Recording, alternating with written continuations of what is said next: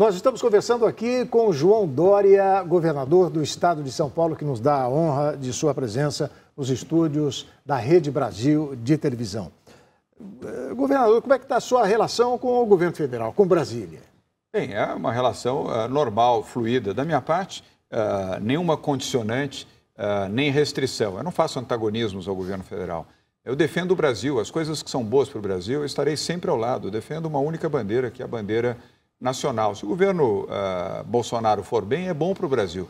Mas eu não perco o espírito crítico, evidentemente. Mas não faço a crítica mordaz, felina, maldosa, destrutiva. A, a crítica, quando faço, ela é construtiva para melhorar aprimorar e oferecer melhores resultados. O, senhor foi um dos primeiros homens públicos a se manifestar com críticas, sabe, contundentes ao, ao discurso do presidente da República lá na sessão da ONU, né? É, dizendo que foi uma apresentação inapropriada.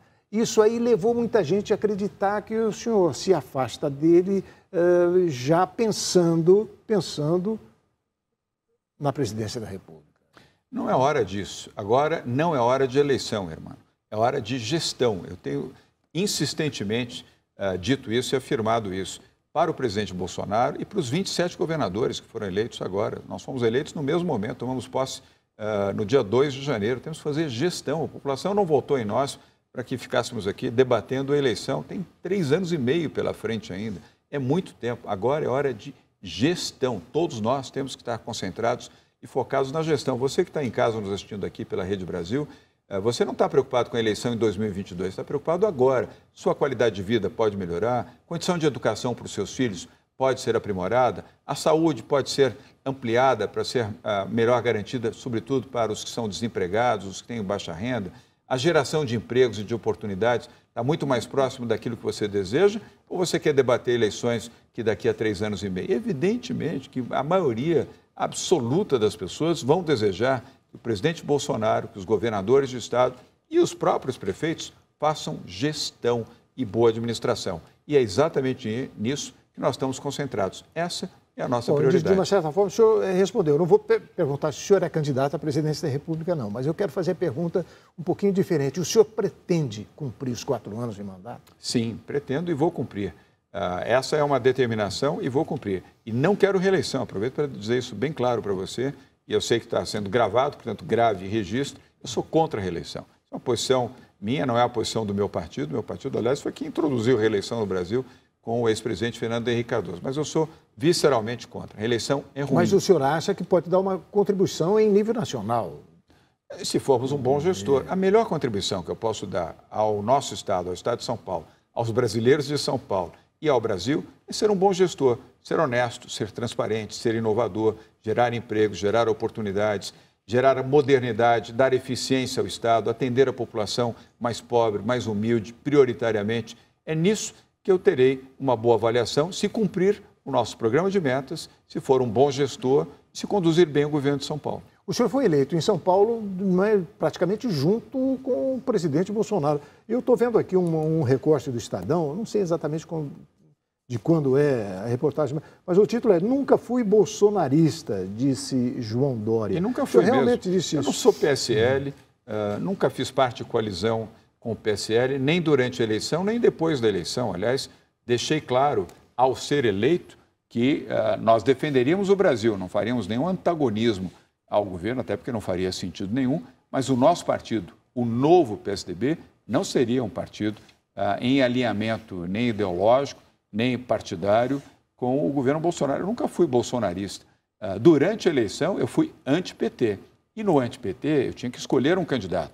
Entre Fernando Haddad, representando PT, Lula, Gleisi, Zé Dirceu e gente que eu não quero ver mais administrando o Brasil, e um novo candidato, Jair Bolsonaro, trazendo esperança, obviamente que eu Uma votei boa parte do eleitorado Bolsonaro. brasileiro pensou assim. 60 foi. milhões de pessoas pensaram assim.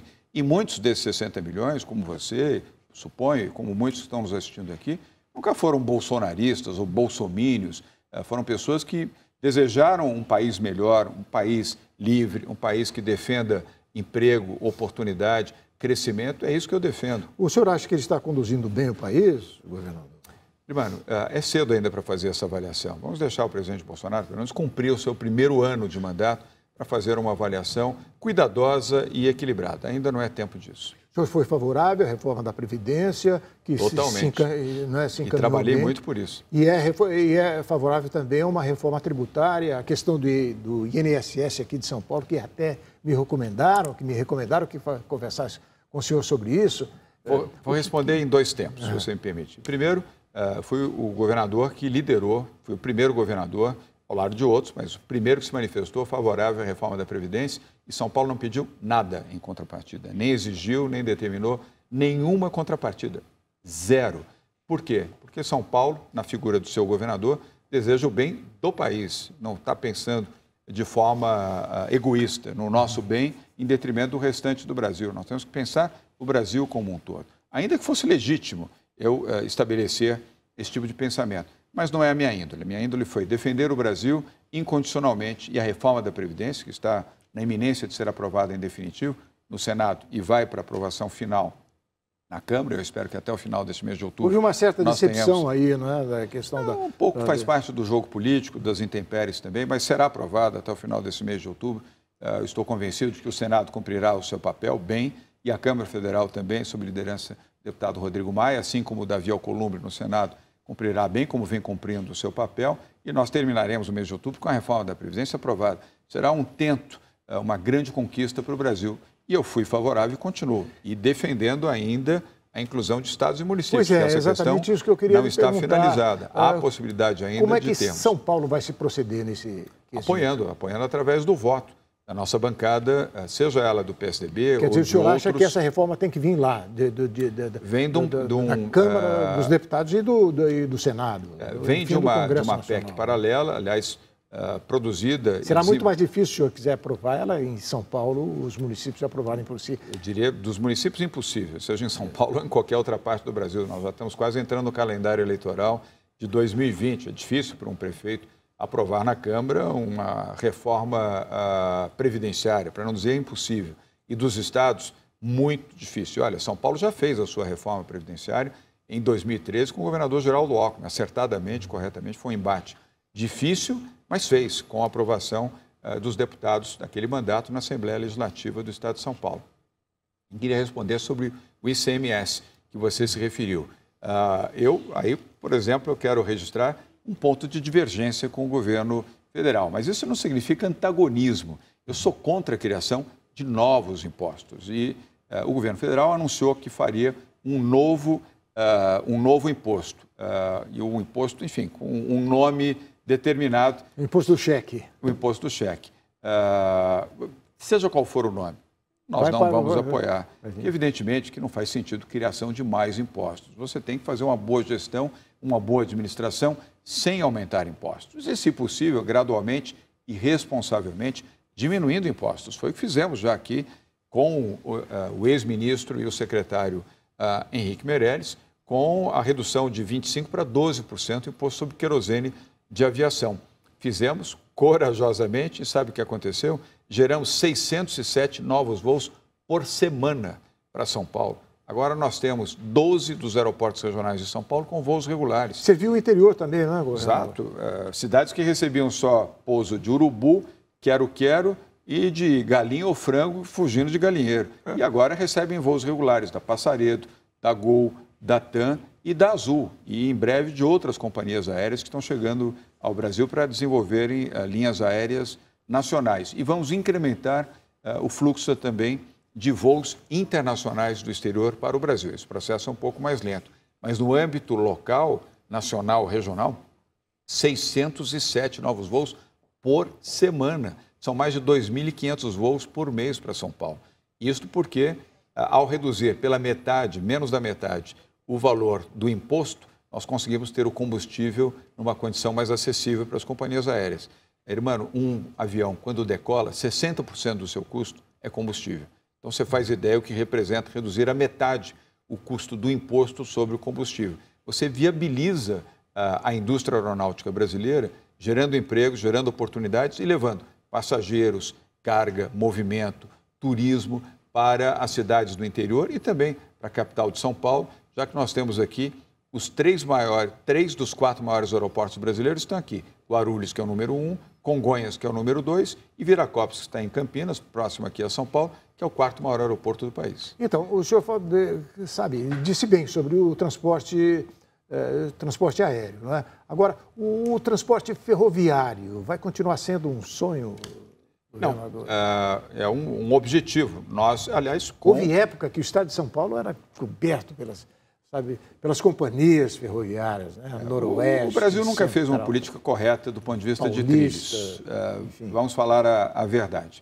É, mas nós estabelecemos aqui, e com o apoio do governo federal, o ministro Tarcísio Gomes, que é um bom ministro, diga-se, ministro de Infraestrutura uh, e Obras, vem empreendendo um bom programa de desestatização, tem uma boa plataforma. Eu acho que agora, com a aprovação da reforma da Previdência, talvez ele e o ministro Paulo Guedes possam abrir roadshows uh, no exterior. Uh, roadshows é uma expressão uh, em inglês que estabelece um programa de visitas e apresentações de projetos aos grandes investidores internacionais. Um pouco daquilo que nós já fizemos nessas cinco missões que eu me referi, começando na, em Davos, na Suíça, e concluindo em Tóquio, no Japão, no, mês, no último mês de setembro.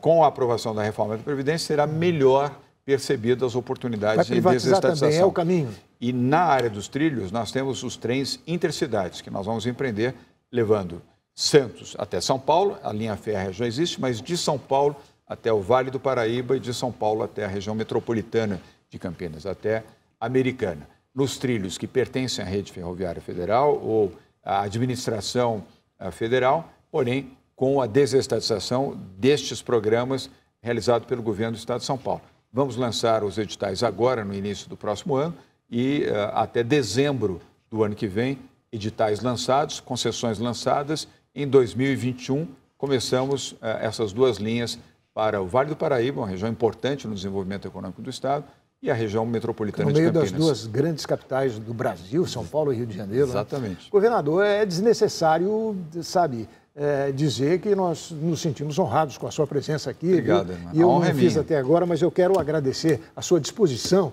em permanecer durante todo esse tempo nesse diálogo, nessa conversa gostosa com a gente aqui. Muito obrigado, viu, pela Irmão, sua presença. Eu, é, eu que agradeço, obrigado pela, pela oportunidade. Eu sou seu admirador de longa data, obrigado. um dos melhores, maiores e de maior credibilidade uh, apresentadores do jornalismo brasileiro, repórter, uh, editor e apresentador. Apenas para citar três características de uma história, de uma longa história de bom jornalismo que você cumpriu uh, dentro da televisão e fora dela. Também é o Márcio Tolentino, que dirige uh, e comanda a Rede Brasil, faz isso com uh, denoto, com esforço, com dedicação e com uma boa equipe. Portanto, e a você que está nos assistindo a essa hora, nos acompanhando, obrigado pela sua audiência também.